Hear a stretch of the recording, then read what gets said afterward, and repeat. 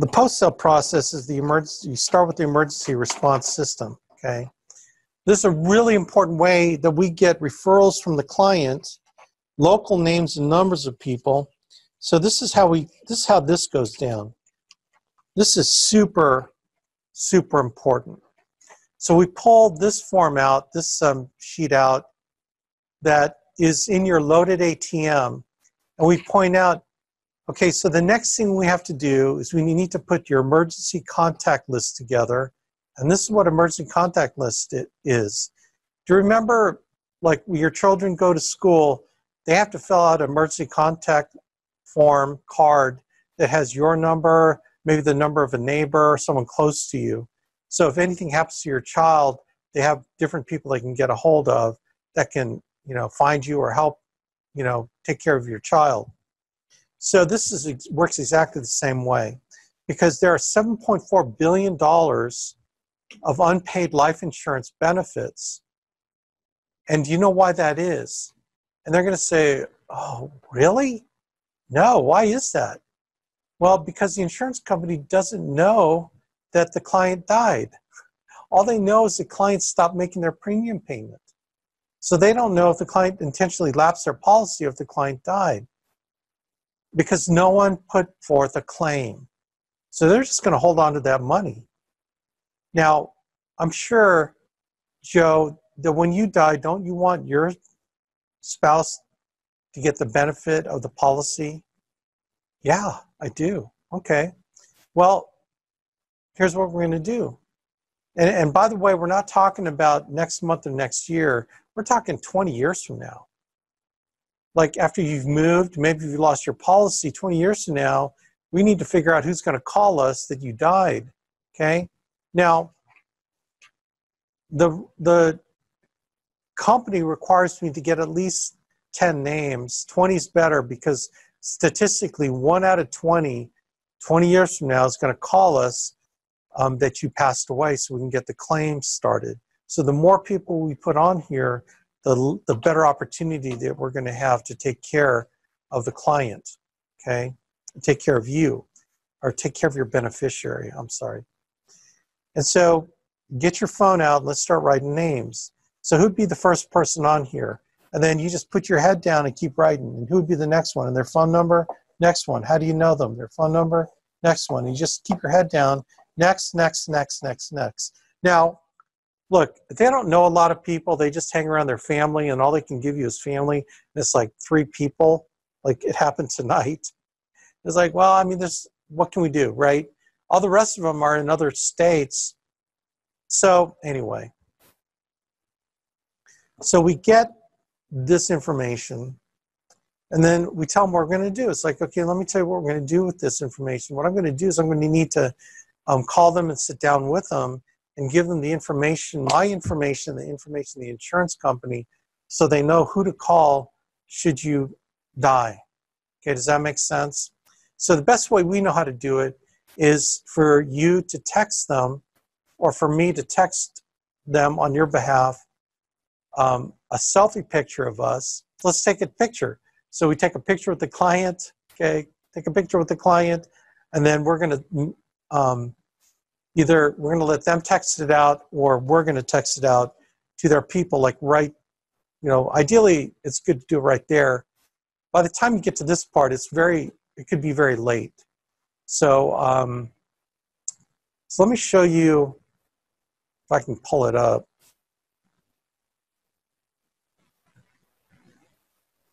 A way to do it where you don't have to rely on them to do the text ideally it's good for them to do it and you're motivating them to do it. We got some great training on this specific thing too. So um, let me share this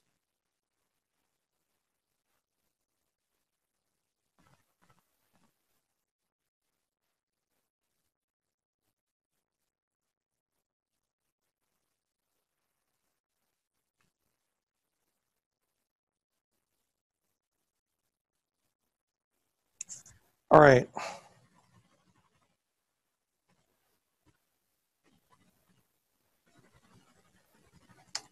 Um,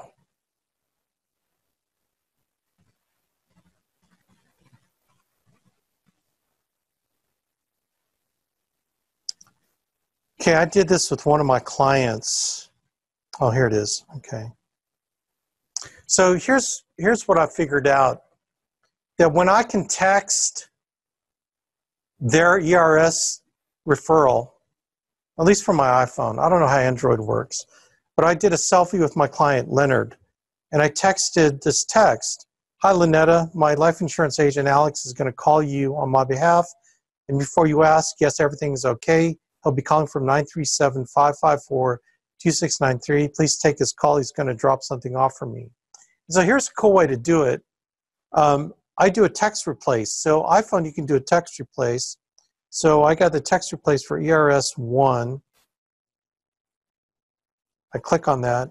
See, it's automatic. And then I just put the name in. Okay, is that cool or what? I love doing it.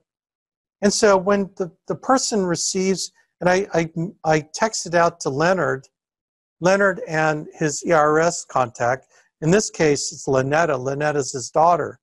So I text it as if it's coming from Leonard. So when she receives it, she sees her father. See that picture? Maybe she has her father's picture, but she definitely has, you know, Leonard Pitts. So it's going to be a familiar person on the list. And it's going to be my number, which is unfamiliar. And so when she opens it up, she sees her father, and then she sees a text coming from him and she kind of doesn't know where it's coming from, but it sounds like it's come from him. And then notice that she said, okay, right? She said, okay. So she's kind of waiting for me to call her to set up a time to go over there. And I tell you what, man, you master this, you're never going to need another lead again because all your appointments, and you can set 30, 40 appointments a week, and our conversion rate on these ERS sit downs um, we got people doing 40 to 60% into another policy. Okay, see how powerful this is to be able to do this, right? So that is doing the ERS properly.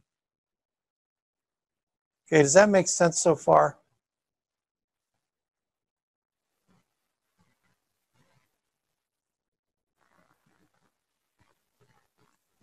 we've got some great training on it. So uh, I'm introducing you to it, but we've got some really great training on it, and we're going to get you, you know, so you can really hear how well it works. Okay, so we do the emergency, excuse me, emergency response system.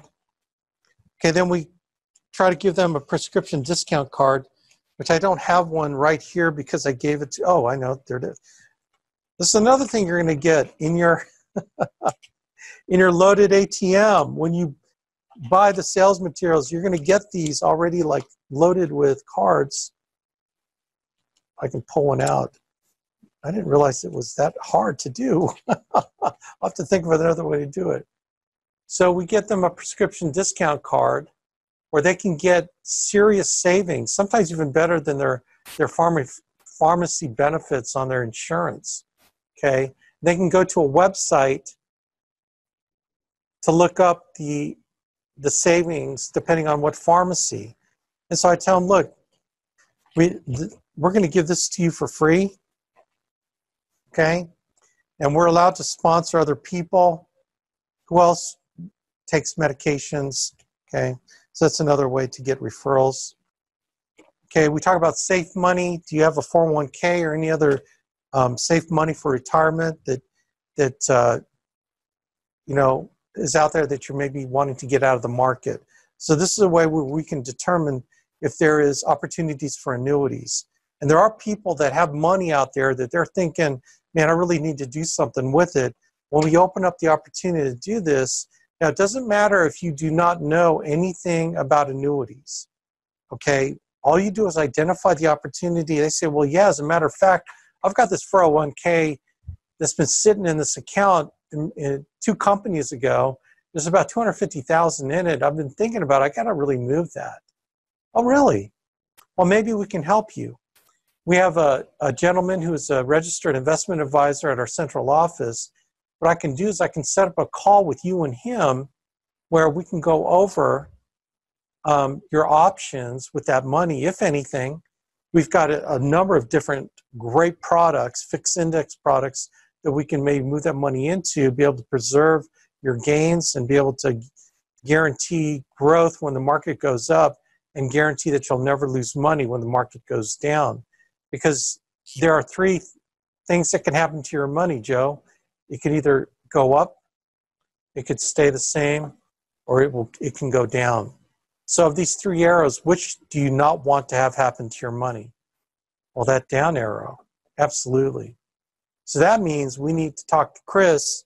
So here's what I need to do. I need to fill out the rest of the green sheet, this financial form. I need to fill out the rest of this information. I need for you to sign here, okay? And then what I'm going to do is I'm going to set up a time where Chris is going to call us. I'm going to be here, and I've got his calendar right here. So you actually go to his calendar. It's a simply book me link that we're going to get you. And you can actually get on his calendar. How about next week? Looks like there's an opening right at about 5.30 p.m. Do you think uh, you'd be available so we can have Chris call? Yeah. Okay, I'm going to book you right now. And I'm going to be here too. Okay, great.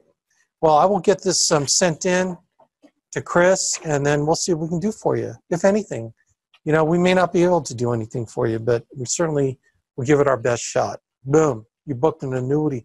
And what Chris is going to do, he's going to call them, and you don't have to know nothing about annuities. He'll talk to them, figure out what we can do for them. Then what he's going to do is tell you, okay, what we're going to do is we're, going to write um, American Equity um, Bonus Gold. This will be the best product for them. And then what you do is you come back to me and Alex, I don't know how to write a bonus gold app. And then I will help you with that. And then you get the commission. Is that cool or what? Okay, final questions. Do you feel good about taking care of your family today for $149 a month? This is where we find buyer's remorse. Okay, this is where we find out if there's any hesitation Okay? This is where we want them to feel comfortable with it. If there's any, if we feel, because by the time your bond report's so strong, you're going to feel whatever tension there is there. Okay? If there's any tension, then let's bring it down to option two or option one. Okay? But if they're, what basically, we're going to give them a chance to sell us on why they're going to keep it. Okay? And another thing I might throw in there is like, look, Christmas is coming. You're going to have bills in January from Christmas. Are you going to want to call me and tell me you want to cancel this because the $149 is too much for your budget? Okay. Final question. I want them to resell me on why they need it. Okay, then the recruiting slide. Hey, by the way, do you know someone who may be interested in making an extra $500 a week helping families do what I just did for you? My manager is hiring people right now and interviewing and you throw that out there and see if they're interested or they know someone interested. In fact, some of the top producers in our company were clients, kind of hair like Hair Club for Men. Okay, so that that's you're done with this, but you're not done with the post sale. Okay, you tell them you're going to call them back, so you're going to do the callback.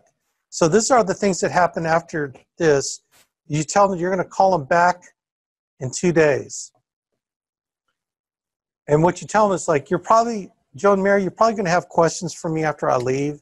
So what I'm going to do is I'm going to call you back in two days. What I want you to do is write those questions down, and then I'll call you back in two days so I can address whatever questions you might have, right? Now, why are you doing this? Because you want to find buyer's remorse early. Because I promise you, if you call them back two weeks and tell them, hey, your policy looks like it got mailed to you. Did you receive it? Oh, yeah, we received it. But Alex, we decided we didn't want this.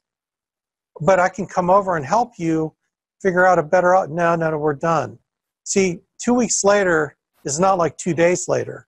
So two days later, you call them back, say, hey, Joe, Alex, got any questions for me? And they might have legitimate questions. Well, what you're looking for is, well, you know, Mary and I were just a little bit uncomfortable with that amount. Um, and I would say, say no more. Looks like I'll be done with my last appointment around 7 o'clock tonight. Tell you what, how do I drop by? We can sit down, revisit this. Take only about 15 minutes, and maybe we can find something better. But Let's sit down and talk about it. If you call them back in two days and find buyer's remorse, you have a chance to save that policy. That's why we wait. We'll wait two days, not two weeks. All right. So we tell them we're going to call them back, and then we call them back. Okay, that's how you create trust with people. Then what you do is that okay, so you do the call back. Tell them you're going to call back, and then you show them your policy. Show them your policy. Okay? So this is what you do. Joe and Mary, would you like to see what your policy is going to look like? And they're going, huh. Yeah, I guess. Your pol- and then you pull your policy out of your bag and you tell them, let's take a look at my policy that I got for my family. I got this right after I got my license. In fact, I wrote the application on December 24th, 1999. And It got approved on December 28th, 1999. So let me show you what your policy is going to look like. It's going to look very similar to mine. And all this time, you've been talking about this abstract concept of life insurance protecting the family.